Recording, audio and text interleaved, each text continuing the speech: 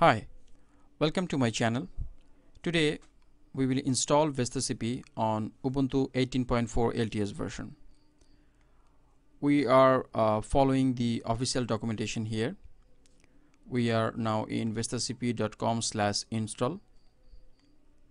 Here it shows how to install the control panel.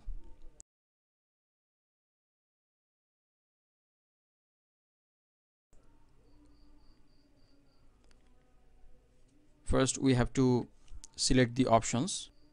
What web server we want to install here? We are choosing here nginx and apache. Nginx will act as a reverse proxy and apache will be the web server for content delivery. And to upload our web content to the uh, web locations we need a ftp service and vsftpd we are choosing here. We have other option like uh, proftpd but vsftpd will be uh, more easier to handle. Uh, in this um, installation uh, we are not installing any mail service. We are uh, only installing for the uh, web hosting. So we are not choosing any email related package. We are not installing any DNS system.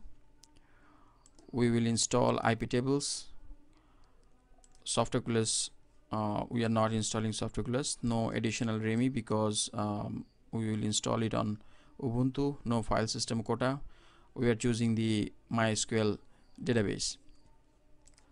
Our system hostname will be vesta.mailserverguru.com email will be at gmail.com and password will be 123 now let's click the generate install command. Now it shows the installation steps. First we will SSH to our uh, system. Then we have to download the main installation script.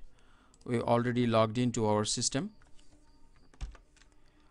Before uh, downloading the installation script let's check our system's uh, hostname and other things required. Hostname is vesta. Full FQDN is vesta.mailserverguru.com and DNS domain name will be mailserverguru.com so we have internet connectivity and we are using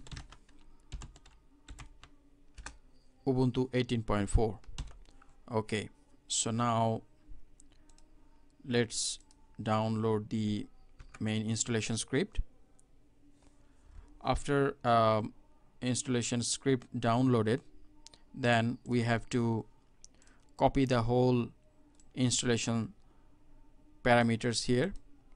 What we are doing actually that we are running the vst install.sh script and we are setting its parameter that what services we want to install here and what uh, we do not want like nginx yes. Apache yes. Php fpm no. Named no.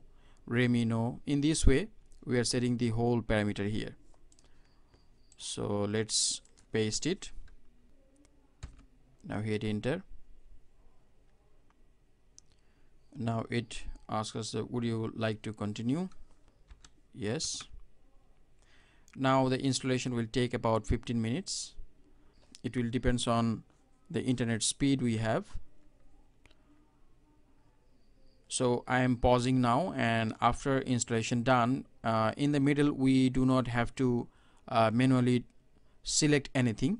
So it will be fully automated installation. So after installation I will uh, continue. Here we can see our installation is done uh, with a few minor errors. And it shows the Vesta logo here and it says congratulations you have just successfully installed the Vesta control panel and it shows the login URL and the login credentials. So let's open the control panel from our browser.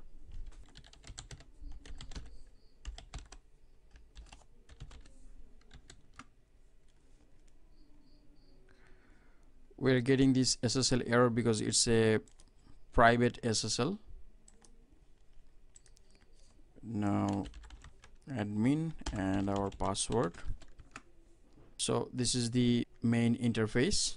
We are successfully logged in to our control panel. So we have successfully installed the Vesta control panel on Ubuntu 18.4 LTS if you still didn't subscribe to my channel please subscribe.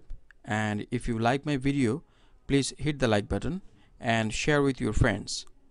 If you have any query please put on comment section. I will try to answer your questions as soon as possible. So thank you and I'll see you on the next video